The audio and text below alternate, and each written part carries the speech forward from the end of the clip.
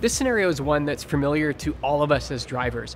There's an annoying driver who doesn't look in the rearview mirror, maybe doesn't even check their blind spot, and pulls right out in front of us into our lane at a lower speed than we're traveling. To make things even harder, there's an obstacle in the distance in the right hand lane. In this scenario, the driver has fractions of a second to perceive the situation and to take action. With low latency, Microvision can update the drivable and non drivable point cloud with speed and accuracy, allowing the vehicle to react faster. Using a dynamic field of view, it visualizes the truck and the encroaching vehicle at near range, as well as the obstacle in the right hand lane.